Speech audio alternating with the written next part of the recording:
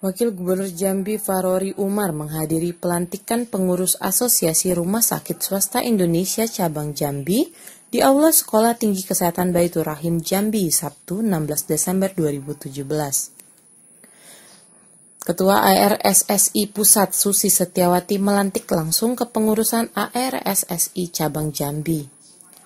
Penandatanganan dan penyematan PIN menandai resminya pengurus ARSSI Cabang Jambi. Turut hadir Komisaris Rumah Sakit Baitur Rahim Fadlan Ma'arif, Direktur Filius Chandra, perwakilan Dinas Kesehatan Provinsi Jambi dan BPJS. Dari Kota Jambi, Yudi Pramono melaporkan.